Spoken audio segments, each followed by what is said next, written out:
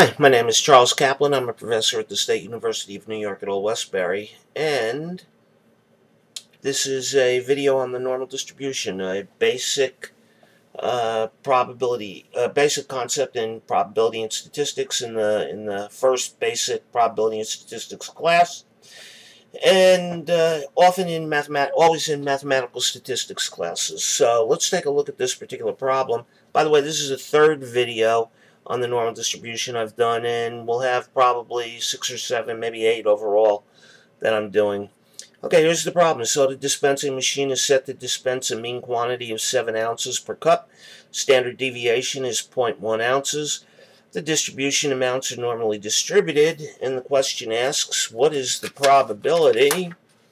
In part A, the machine will dispense between 7.1 and 7.25 ounces of soda. Well, we know that the mean is 7 ounces. We know that the standard deviation is 0.1 ounce.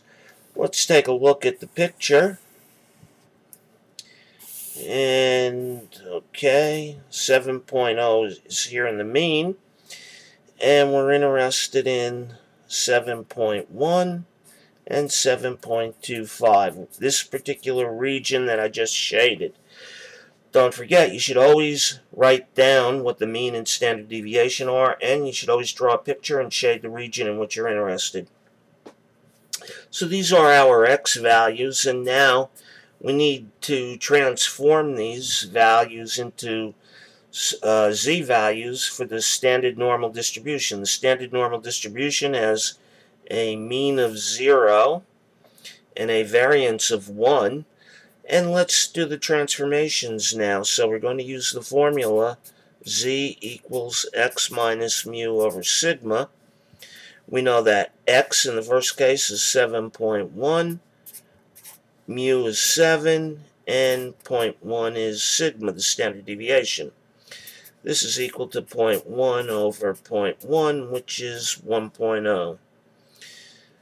Uh, let's look at the second uh, value z is equal to x minus mu over sigma. So we have 7.25 minus 7 over 0.1, and that's uh, 0.25 over 0.1, and if you do the arithmetic, it'll come to 2.5. Okay, so we have areas associated with these, and the areas that where, let me draw a little diagram here.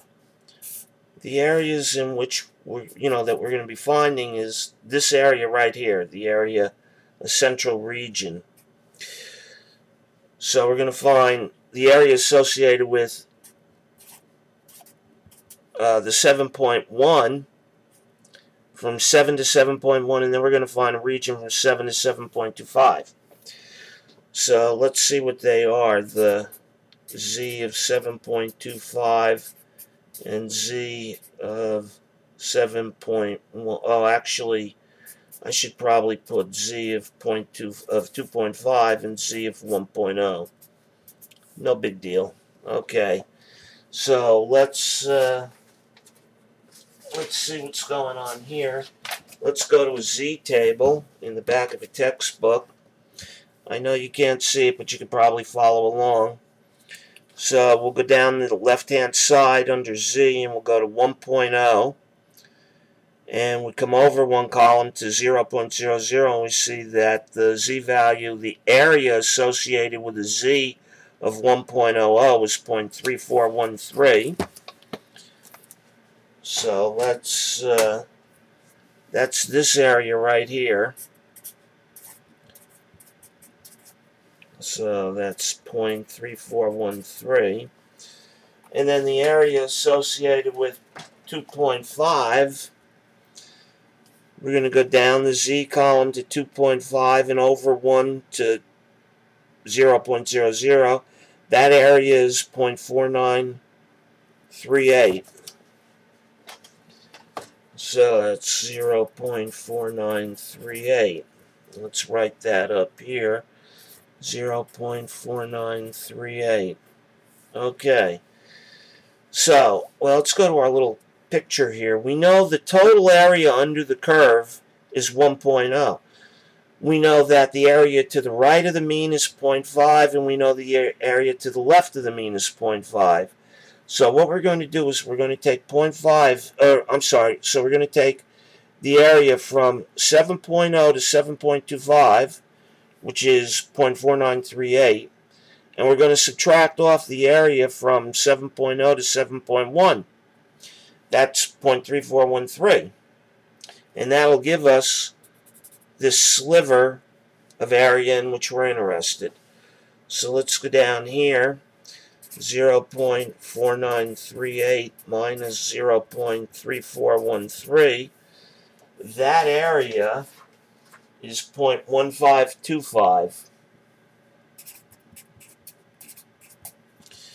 So let's go back up here. This area is 0.1525. So again, let's take a look at how we did this. We had the mean value given to us and we are interested in 7.1 and 7.25.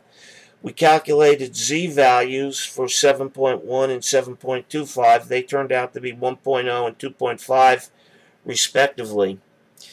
We took the area associated with uh, 7 to 7.25 and we subtracted the area associated with 7 to 7.1. That gave us the area from 7.1 to 7.25. And that calculation was done down here, 0.4938 minus 0.3413, and that turned out to be 0.1525. So this area here is 0.1525. Let's go to question B. Question B asks us what the probability is that the machine will dispense more than 7.25 ounces. So we know that mu is equal to 7 and sigma is equal to 0.1. And this question is asking us this. We have our value 7.25 here and it wants to know what the probability is that the machine will dispense uh, uh, an amount of soda greater than 7.25 ounces. So again, we're going to have to make a transformation to the standard normal distribution, and to do that, we're going to use z transformation, but we know that from the, the mean has a z value of 0, and when we calculated the z value for 7.25, in part A, we came up with a z-value of 2.5. The way we got that was we used our z transformation, x minus mu over sigma, which is 7.25 minus 7 over 0.1, which is 0.25 over 0.1, which is 2.5. Now, we know that the total area under the curve is 1.0. We know that the area to the right of 7.0 to the right of the mean is 0.5. So if we take 0.5 and we subtract off this area here, which we know from the prior problem is 0.4938, that'll leave us with 7.25. So we're going to take 0.5 minus 0.4938 and that's going to give us 0.0062 and that's this area so what we did was we calculated the z-value associated with 7.25 that's 2.5 we know that the total area to the right of the mean is 0.5 we looked up the area associated with this region here from 7 to 7.25 and got 0.4938. We took 0.5 minus 0.4938 and that gave us 0.0062. By the way, these z values, these are standard deviations, the units. The units here in this particular problem are ounces, but these units, always with the standard normal distribution, are units of standard deviation. So 7.25 is 2.5 standard deviations from the mean. Okay, let's go to part C.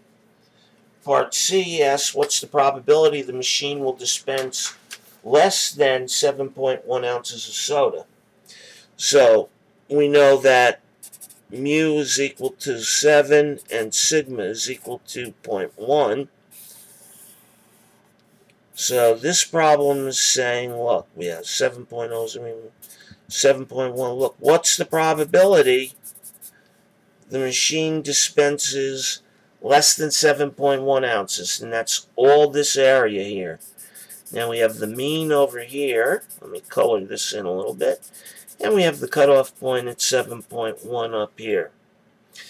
We know from part A that the z values associated with 7.1 is 1.0. The way we got that was we used our z transformation formula, z equals x minus mu over sigma, which is 7.1 minus 7 over 0.1, which is 0.1 over 0.1, which is 1.0. So this area, the area associated with a z-value of 1.0, is 0.3413. Well, we know that the area to the left of the mean is 0.5. The total area under the curve is 1. The area to the right of the mean is 0.5, and the area to the left of the mean is 0.5.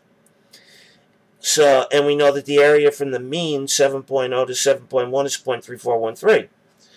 So we're going to take 0.3413. Let me scooch this up a bit. We're going to add on this area, 0.5, and that gives us, oops, 0.8413. So this total area for 7.1 and below is 0.8413. And that takes care of part C of this problem. So my name is Charles Kaplan. I'm a professor at the State University of New York at Old Westbury. This is the third video in a series of what is about seven or eight videos on the normal distribution and this particular continuous probability distribution. Uh, if you enjoyed this video and found it helpful, I'd appreciate it if you leave a positive comment.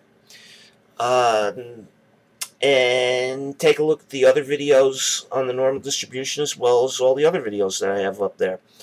Uh, anyway, I wish you all good health and good happiness and a lot of luck. Bye-bye.